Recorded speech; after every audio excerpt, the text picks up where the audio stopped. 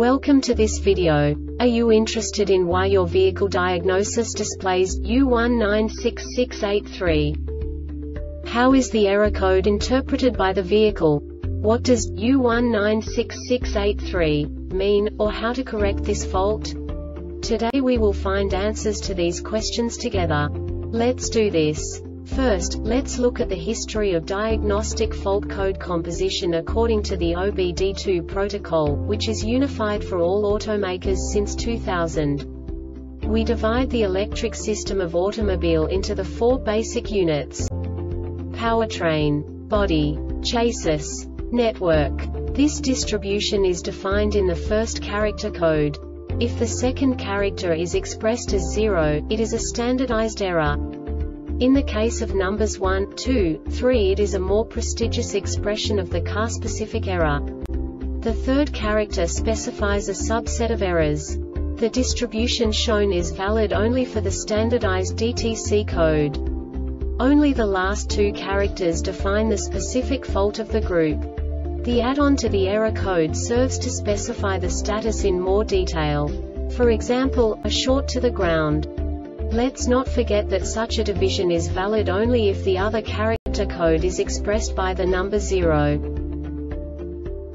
Our website airbagreset.sk produces useful videos for you. You do not have to go through the OBD2 protocol anymore to know how to troubleshoot any car breakdown. You will find all the diagnostic codes that can be diagnosed in a Jeep vehicles. Also many other useful things. The following demonstration will help you look into the world of software for car control units. You unbelievably can move the video a bit further. The error code is split into two bytes consisting of 16 bits. One bit is the basic unit that each computer works with. The bit has two logical states. 0, low level, 1, high level. By combining the first two bits, the basic character of the error code is expressed. The next two bits again determine the second character. The last beat styles of the first byte define the third character of the code. The second byte is composed of a combination of 8 bits. The first 4 bits determine the fourth character of the code. And the combination of the last 4 bits defines the fifth character. A single byte conceals 256 possible combinations. We now know in what way the diagnostic tool translates the received information into a more comprehensible format. The number itself does not make sense to us if we cannot assign information about it to what it actually expresses.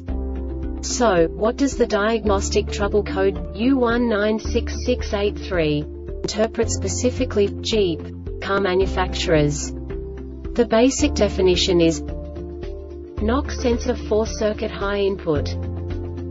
And now this is a short description of this DTC code.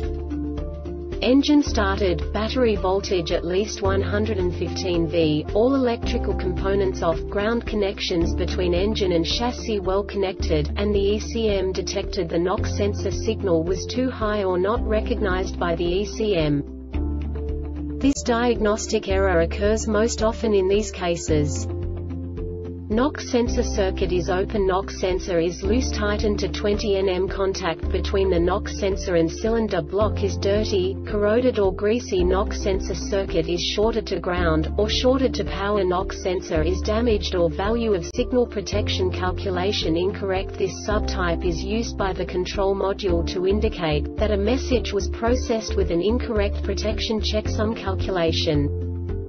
The Airbag Reset website aims to provide information in 52 languages. Thank you for your attention and stay tuned for the next video.